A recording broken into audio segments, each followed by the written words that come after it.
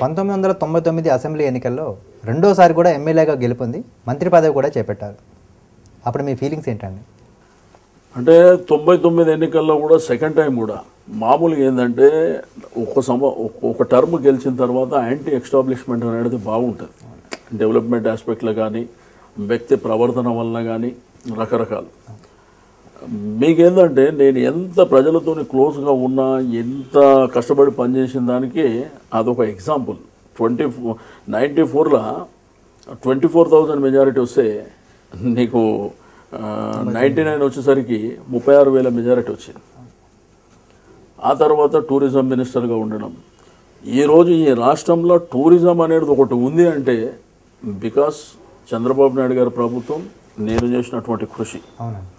ఈరోజు temple tourism కానీ eco tourism కానీ హెల్త్ టూరిజం కానీ అంటే రకరకాలుగా మనం డెవలప్ చేయడం జరిగింది. ఇప్పుడు ఒక చెలవిహార్ వచ్చిన ఎన్టీఆర్ గార్డెన్ వచ్చిన అంటే రాష్ట్రంలో టెంపుల్ ప్రాంతాలలో కూడా టూరిజంని ప్రమోట్ చేసినాం ఆ విధంగా ఎక్కడ చూసినా కానీ ఒక అకామిడేషన్ వచ్చేటువంటి వాళ్ళకు అంటే చాలా పెద్ద ఎత్తున టూరిజం కార్పొరేషన్ వైండ్ అప్ అవుతున్నటువంటి సందర్భం అది. బట్ ఈరోజు లాభాలలో ఉండడమే కాకుండా ఎంతో మందికి ఎంప్లాయ్మెంట్ అక్కడ ముఖ్యంగా ఉపాధి కల్పించారు. ఉపాధి కల్పించిన రెండవది గవర్నమెంట్ రెవెన్యూ కూడా పెరిగింది. ఈ రోజు ఓల్వో బస్సెస్ ఆ రోజుల్లో భారతదేశంలో మొట్టమొదటి ఓల్వో బస్సు ప్రవేశపెట్టింది కూడా నేనున్నప్పుడే. మీరు ప్రజలతో ఇంటరాక్ట్ అవ్వడానికి ఎక్కువగా ఇష్టపడతారండి మీరు ప్రజలతో ఇంటరాక్ట్ అయినప్పుడు ఎక్కువగా ఏ సమస్యలతో మీ దగ్గరకు వచ్చేవాళ్ళు? రకరకాల సమస్యలు ఉంటాయి బ్రదర్. ఇప్పుడు ప్రజల సమస్యలు ఎట్లుంటాయంటే ఇది రెగ్యులర్ సమస్య. ఇప్పుడు దీనికి ఏంటంటే మనం ఎన్ని పరిష్కారం చేసినా కానీ సమస్యలు అనునిత్యం వస్తుంటాయి. వాటర్ ప్రాబ్లం ఉంటుంది ఎలక్ట్రిసిటీ ప్రాబ్లం ఉంటుంది డ్రైన్ ప్రాబ్లం ఉంటుంది రోడ్ ప్రాబ్లం ఉంటుంది మీకు షార్ట్ సర్క్యూట్ అంటే రకరకాలు లేకపోతే పట్టాలు ఇవ్వాలి ఇండ్లు ఇవ్వాలి నీకు బర్త్ సర్టిఫికెట్ అంటే ప్రతి దగ్గర ఈ కరప్షన్ అనేటువంటిది పెద్దగా పెరిగిపోతున్నటువంటి సందర్భం కాబట్టి మనం చెప్తే ఈజీగా పని అవుతుంది అనేటువంటి ఉద్దేశం. రెండవది మన నా నియోజకవర్గంలో ఏంటంటే కొన్ని వేలాది మందికి పట్టాలు ఇచ్చిన. కొన్ని వేలాది మందికి ఇల్లు కట్టించిన. మన నియోజకవర్గంలో. కాబట్టి ఏదున్నా కానీ అవకాశం అనేది వస్తే ఏదైనా క్రియేట్ చేయడానికి నాలాంటి వాళ్ళు చాలామంది ఉంటారు. ఇదేంటంటే అందరూ రాజకీయం అంటే ఇది బ్రహ్మ విద్య అనుకుంటారు. అది బ్రహ్మ విద్య కాదు. అవకాశం అనేది రావాలి కానీ ప్రూవ్ చేసుకోవడానికి మనకు అనేకమైనటువంటి అవకాశాలు ఉంటాయి. అంటే ముఖ్యంగా రాజకీయ కుటుంబం నుంచి వచ్చిన నాయకులు కాకుండా మీరు ప్రజల నుంచి వచ్చిన నాయకులు. అంటే మీ దగ్గర ప్రజలకు చెప్పుకునే స్కోప్ ఎక్కువ ఉంటుంది. అప్పుడు మీరు ప్రజలతో ఎలా మమేకం అయిపోయారు? ఎప్పుడు నేనేందంటే నైంటీ ఫోర్ నుంచి ఈ రోజు వరకు ఎప్పుడు చూసినా కానీ రెగ్యులర్గా ప్రజల మధ్యలో ఉంటా. నాకేందంటే ప్రజలతో బాగా అటాచ్మెంట్ ఉంది. వాళ్ళకేందంటే ఈయన దగ్గరికి వెళ్తే మాకు పని అవుతుంది మనం కూడా ఆ విధంగానే వాళ్ళకి అవైలబుల్ ఉండడం. ఏదున్నా నేనేందంటే మీకు టైము ఈ టైమింగ్ కానీ టైమింగ్ లిమిట్స్ కానీ ఈ టైంకే కలవాలి ఆ టైంకి అటువంటి ఏం లేవు. నేను మంత్రిగా ఉన్నప్పుడు కూడా సెల్ ఫోన్ నేనే లేపుతుంటే. ఎవరు ఫోన్ చేసినా కానీ ఏది ఉన్నా కానీ ఇమ్మీడియట్గా ఈయన దగ్గరికి పోతే పని జరుగుతుంది. లేదు పని జరిగినా జరగకపోయినా ఆప్యాయంగా స్పందిస్తారనేది ముఖ్యమండి. అది. అది వాళ్ళకు ఉన్నటువంటి ఒక కాన్ఫిడెన్స్ మధ్యతరగతి కుటుంబం నుంచి మీరు రాజకీయాల్లోకి వచ్చారండి.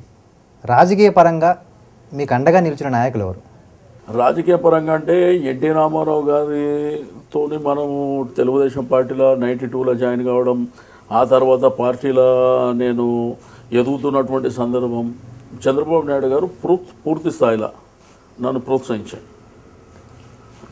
అంటే మనకు అధికారం లేదు. ఇప్పుడు ఎయిటీ త్రీలో అధికారం ఉంటే ఎయిటీ నైన్ గవర్నమెంట్ పోయిన తర్వాత నేను వచ్చాను. బట్ గవర్నమెంట్ లేనటువంటి సందర్భంలో కూడా చంద్రబాబు నాయుడు గారు అప్పుడే అంటే మన యాటిట్యూడ్ చూసుకోవడం లేకపోతే ప్రజల మధ్యలో మనం ఉండేటువంటి ఈ ఫీడ్బ్యాక్ తీసుకొని నన్ను ఎంకరేజ్ చేసాడు బాగా. ఇరవై ఎనిమిది సంవత్సరాల క్రితం మీరు తెలుగుదేశం పార్టీ ద్వారా రాజకీయాలకు వచ్చారండి. ఇప్పటికీ తెలుగుదేశం పార్టీలోనే ఉన్నారు. ఇప్పుడున్న సిచ్యువేషన్లో చాలామంది నాయకులు గోడ దూకే సంస్కృతి ఎక్కువైపోయింది అంటే పార్టీ మారడంలో మీ అభిప్రాయం ఏంటంటే ఒకటి బ్రదర్ మనకేందంటే కన్నతల్లి లాంటి పార్టీ. ఒక పార్టీ ద్వారా నాలాంటి వారికి రాష్ట్రంలో గుర్తింపు వచ్చింది.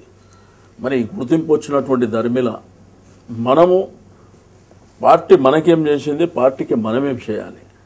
పార్టీ ద్వారా ప్రజలకు ఏం చేయాలి? అనేటువంటి ఒక ఉద్దేశంతో ఉన్నటువంటి వ్యక్తిని. నేను అనేక సందర్భాల్లో కూడా డిఫర్ అయినా. బట్ డిఫర్ అయినా నేను ఫేస్ చేసిన. నాయకునితోని నేను పోరాటం చేసిన. నా సమస్య పార్టీ సమస్య నా సమస్య కార్యకర్తల సమస్య అంటే రకరకాలుగా డిఫర్ అయినప్పుడు కూడా ఫేస్ చేసి మాట్లాడి. ఏదైనా కానీ మనం ఇంట్లో ఉండి కొట్లాడుకోవాలి. బయటికి పోయి కొట్లాడి సాధ్యమేం లేదు. చాలామంది పార్టీలకి వెళ్ళిపోయారు వెళ్ళిపోయిన వాళ్ళు ఏమైపోయినారు అనేది కూడా ప్రజలకందరికీ తెలుసు. కాబట్టి నా ఫిలాసఫీ ఏంటంటే ఎంత డిఫర్ అయినా కానీ ఉండి కొట్లాడదాం. ఇప్పుడు వినేటువంటి తత్వం ఉన్నటువంటి నాయకత్వం మనకు ఉన్నప్పుడు తప్పు మనదా? అక్కడ ఉన్నటువంటి వ్యక్తులదా? దాన్ని అధిగమించి ముందుకు తీసుకెళ్ళేటువంటి లీడర్ మనకు ఉన్నప్పుడు మనం డిఫర్ అయినా కానీ మనం ఇక్కడనే పోరాటం చేయాలనేటువంటి ఉద్దేశంతోనే నేను నంబర్ ఆఫ్ టైమ్స్ డిఫర్ అయినా అది టీవీలో పేపర్లో కూడా వచ్చినటువంటి సందర్భం. డిఫర్ అయినప్పుడు నేను నా తప్పు ఉంటే నేను సరిదిద్దుకోవడం లేకపోతే ఇతరులది ఎవరిదైనా తప్పు ఉన్నప్పుడు అల్టిమేట్గా లీడరు ఇంటర్వ్యూ అయినాయి ఇవన్నీ చెప్పడం ఇవన్నీ ఉన్నాయి.